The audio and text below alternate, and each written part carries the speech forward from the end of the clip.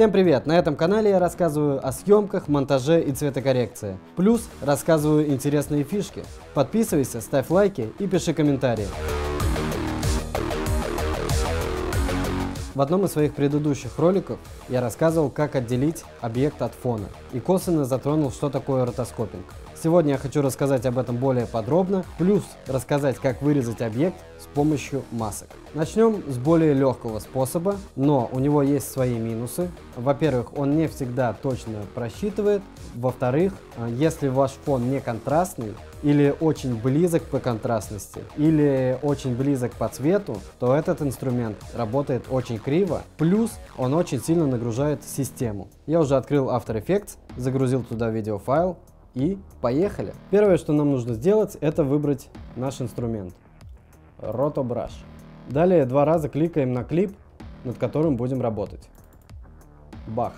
У нас открылось дополнительное окно, в котором мы будем работать с этим инструментом. Наш курсор превратился в такой кружочек и плюсик, его можно увеличивать или уменьшать. Для этого нужно зажать кнопку Ctrl, нажать кнопку мыши и повести в сторону. Тем самым мы меняем размер нашей кисти. С помощью зеленой кисти мы выбираем объект, который вырезаем. С помощью красной кисти убираем лишнее из нашего выделения. Чтобы включить красную кисть, нужно зажать Alt. И появляется красный кружочек со знаком минус. Переносим ползунок в начало клипа и начинаем выделять.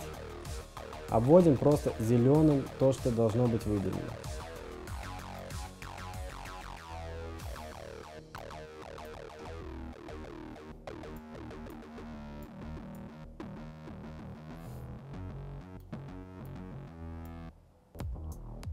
Колесику можно приближать или отдалять картинку. Если зажать колесико, можно ее таскать по нашему вьюверу. Далее с помощью кнопки Page Down на клавиатуре переключаемся к следующему кадру и подравниваем наше выделение на каждом из них.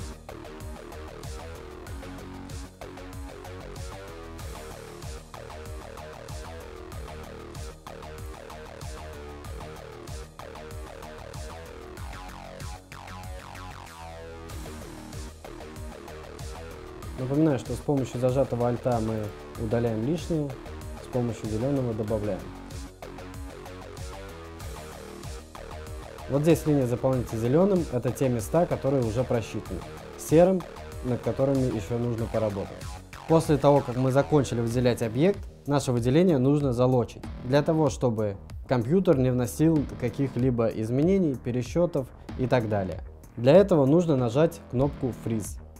Через какое-то время это все просчитается, и мы тоже не сможем вносить изменения, как и компьютер. Окей, возвращаемся в нашу основную композицию. Все, наш объект выделен. Немного добавляем размытия по краям. И ставим любой фон.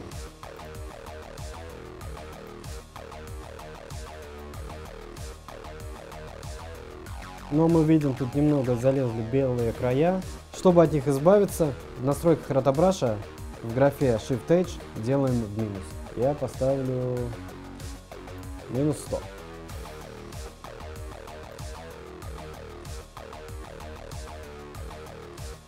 Все, наш фон удален, но это был простой способ, когда ваш фон контрастный. Что же делать, если это не так? Для этого есть инструмент под названием Pen Tool. Я удалю ротобраш,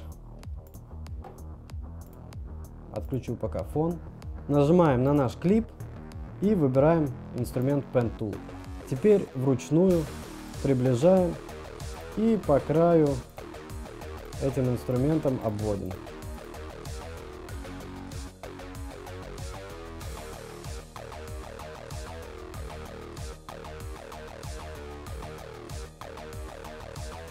Все, мы полностью выделили наш объект, но теперь, так как это видео, нам нужно эту маску проанимировать. Для этого мы заходим вот сюда, открываем маск, саму маску открываем.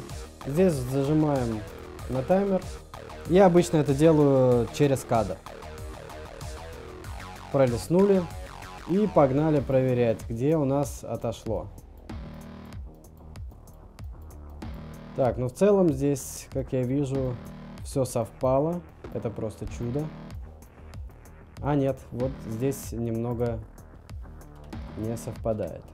Я просто это выделяю и смещаю ближе. Снова пролистываю два кадра и опять прохожусь также по краям. Здесь совпадает, совпадает, все совпадает. Вот здесь разошлось. Он подвигал головой. Для удобства я пока что отключу маску. Для этого, для этого заходим вот сюда, нажимаем No. И изменю ее цвет на черный. Теперь я четко понимаю, где у меня что отошло. Не самый удачный цвет э, маски я выбрал. От, если отталкиваться от кепки, ни хрена не видно. Будет красный. Снова перехожу на два кадра вперед, смещаю точки и так до самого конца, пока я не закончу.